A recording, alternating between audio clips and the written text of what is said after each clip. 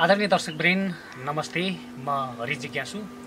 आज म किर्तिपुरमा आएको छु र यहाँ एकजना बहिनी हुनुहुन्छ रुकुमको कोलको बहिनी। उहाँलाई भेट्न आएको छु। उहाँको ब्लड क्यान्सर भएको छ निकै गाह्रो अवस्थामा हुनुहुन्छ। उहाँको आमा पनि हामीसँगै हुनुहुन्छ र यो करिश्मा पुन नानी पनि अहिले मसँगै हुनुहुन्छ।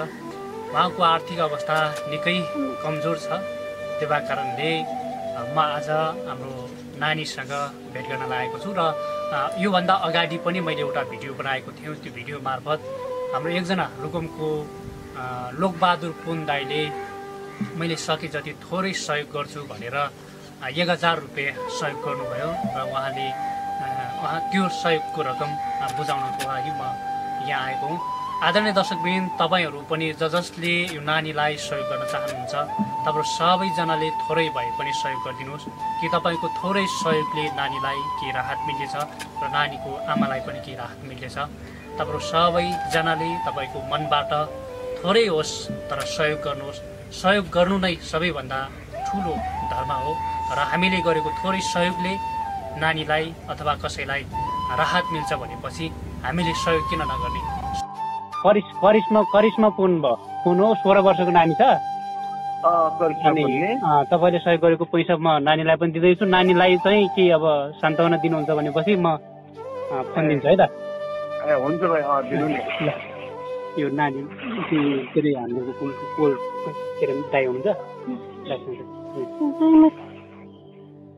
हेलो हेलो बहिनी जयमेसी जयमसी दाई।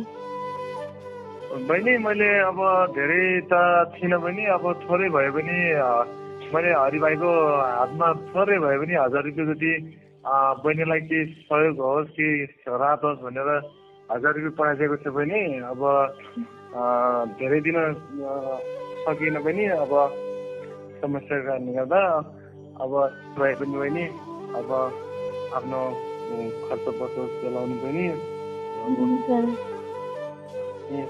अब केही नभन्नु परमेश्वरमा भरोसा गरेको मान्छेलाई हामीलाई समस्या रोग समस्या आउँछ नि यो परीक्षाको हिसाबमा पनि आउने रहेछ जीवनमा। अनि त्यसो भएर के नगर्नु भयो नि परमेश्वरमा भरोसा गर्नु। परमेश्वरले जुटाउनुहुन्छ भने के नगर्नु भने एक दिन सङ्घाइ हुन्छ लिएको हुन्छ भने है? अनि हामीहरू साथमा छौँ परमेश्वर हुनुहुन्छ साथमा। हामी परमेश्वरको आत्माको सहयोग र जीवनमा मृत्युको भन्ने विषयमा कुरोमा त्यही हो अब आउँदो दिनहरूमा पनि सकिए जति सहयोग गरौँला पनि के भने अहिलेलाई त्यति सानो भन्दा सानो हजार रुपियाँ जति मात्रै भाइलाई मैले त्यो बहिनीलाई दिनु भनेर भाइलाई भनेको भाइलाई अनि के गर्ने पनि अब के हो समस्या आउँछ सांसारिक जीवनमा हो बहिनी है।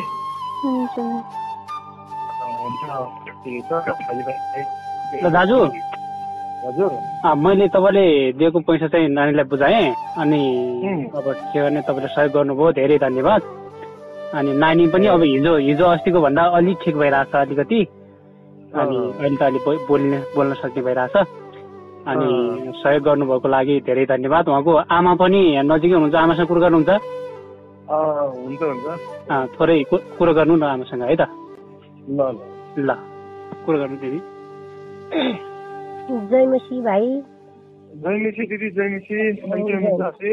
हजुर भाइ। दिदी मैले अब नानीको लागि अब थोरै भए पनि अब आफूले सकेको सहयोग भाइ हरिभाइको हात हजार रुपियाँ पठाइदिएको छु दिदी। हजुर भाइ। अनि अब के भने अब समस्या यस्तै हुन्छ जिन्दगीमा। अनि अब परमेश्वरमा भरोसा राखौँ दिदी है? हजुर भाइ।